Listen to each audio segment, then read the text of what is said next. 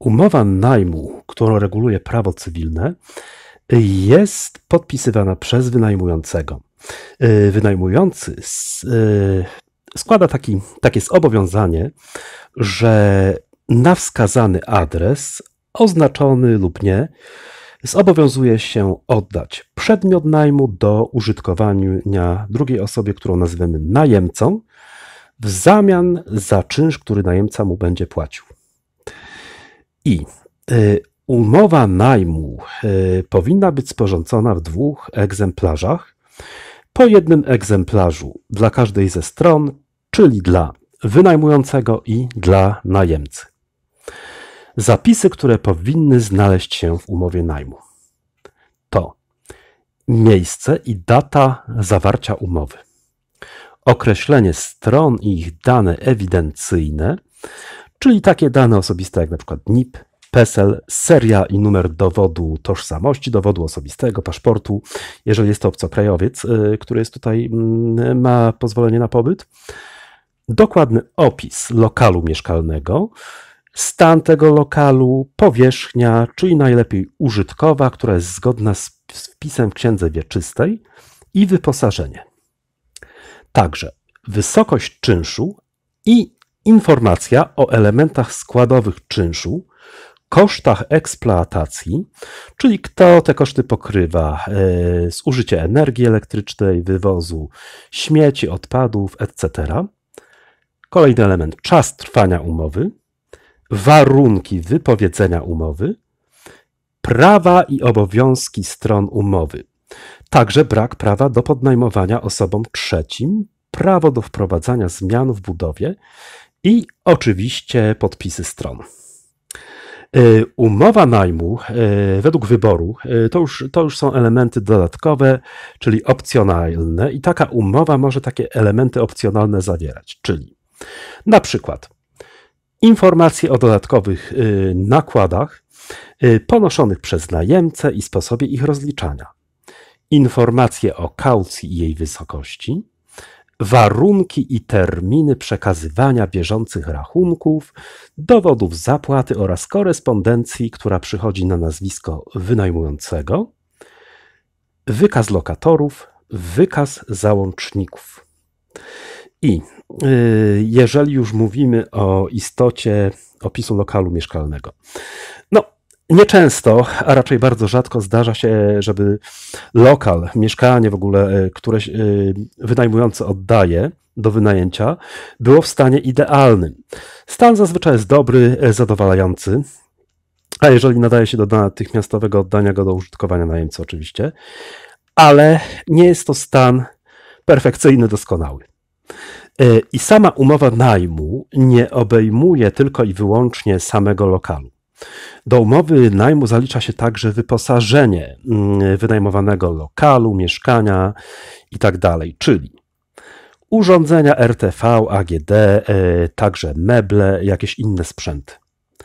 W związku z tym, zanim taką umowę się podpisze, e, to wynajmujący powinien dokonać dokładnych oględzin lokalu, tak, także najemca spisać szczegółowy protokół odbioru, żeby później nie było niedomówień, nieporozumień.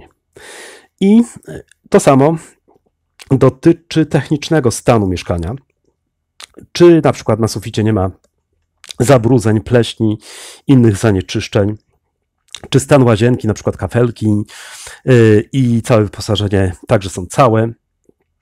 Yy, warto, a właściwie należy zwrócić także uwagę na yy, każdy najdrobniejszy niuans, najdrobniejszy szczegół, bo jeżeli wynajmujący nie wyraża zainteresowania usunięciem usterek, to e, powinno to być także w zapisie. Żeby również nie było to e, później, później z tego tytułu nieporozumień i, e, i żeby sprawy nie kończyły się w sądzie.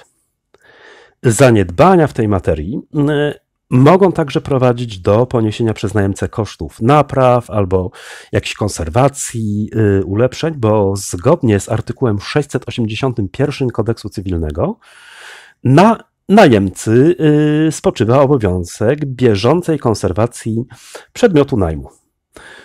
Y, Opłaty za media w przypadku umowy wynajmu. Tutaj wliczane są koszta wody, internetu, energii elektrycznej, abonamentu za telewizję i najczęściej ustala się stałą wysokość czynszu za wynajmowany lokal, a właściciel e, może ją powiększyć oczywiście opłaty za media. Jednakże wynajmujący musi otrzymać komplet wykazów o zużyciu, a, oraz kwoty mm, wymagań y, do zapłaty. Jeżeli najemca chce zagwarantować sobie takie stałe, regularne opłacanie tych wszystkich wymienionych mediów przez osobę, która wynajmuje lokal, to w umowie y, może zawrzeć także y, taki zapis, taką klauzulę o potrąceniu kwot, które są niezbędne do, do Y, pokrycia opłacenia rachunków mediowych zabezpieczenia na poczet niespłacanych należności. Oczywiście wcześniej należy wezwać najemcę do zapłaty. I także można zastrzec możliwość naliczania odsetek za każdy dzień zwłoki. Y, jeżeli mówimy tutaj jeszcze także o ulepszeniu lokalu mieszkalnego, to oczywiście w przypadku ulepszenia y, najemca może inwestować w wynajęte mieszkanie, ma do tego prawo, czyli remontować je, ulepszać i remont to jest to tak jakby według przepisów odtworzenia wartości użytkowej budynku, a ulepszenie y, to właściwie każdy y, kolejny nowy element. I ten element tutaj stwarza taki szerszy zakres możliwości użytkowania danego lokalu, mieszkania. Y, koszta, które najemca ponosi na rzecz tych ulepszeń, mogą być zwrócone najemcy, ale wszystko naturalnie musi być na piśmie. Jeżeli jeszcze y, mówimy tutaj, na przykład mamy umowę najmu lokalu mieszkalnego, ona jest zarejestrowana w urzędzie. Y, i w niej powinien być zapis o ochronie wynajmującego, Taka rejestracja w danym urzędzie e, jest bezpłatna, e, nie ma w związku z tym obowiązku podatkowego. I następuje oczywiście na wniosek wynajmującego. Zgłasza się to w urzędzie skarbowym pisemnie. I wtedy umowa jest zarejestrowana. Jakie są tutaj jeszcze warunki wypowiedzenia?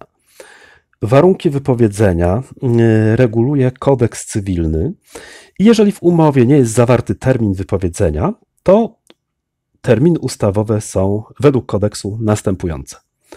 Kiedy czynsz jest płatny w odstępach czasu dłuższych niż miesiąc, najem można wypowiedzieć najpóźniej y, na 3 miesiące naprzód na koniec kwartału kalendarzowego. Gdy czynsz jest płatny miesięcznie, na miesiąc naprzód, na koniec miesiąca kalendarzowego, gdy czynsz jest płatny w krótszych odstępach czasu, na trzy dni naprzód. Gdy najem jest e, dzienny, na jeden dzień naprzód. Wynajmujący y, ma obowiązek poinformować najemcę o tym, że zamierza wypowiedzieć umowy w formie pisemnej i żeby takiej informacji nadać prawną moc, to informacja musi posiadać status pisma doręczonego, czyli za potwierdzeniem odbioru. Można także na przykład zaksięgować y, koszt najmu w KPIR, w książce przychodów rozchodów, jeżeli prowadzicie działalność. I tutaj y, wszystko już w systemie jest zapisane. Ja ten system jeszcze w najbliższym czasie y, przytoczę. To właściwie tyle na temat umowy najmu. Zachęcam także do wysłuchania mojego y, nagrania na temat umowy dzierżawy i czym się umowa najmu od umowy dzierżawy różni, jakie są tam podobieństwa, elementy wspólne. Serdecznie pozdrawiam, życzę Państwu miłego dnia i do usłyszenia.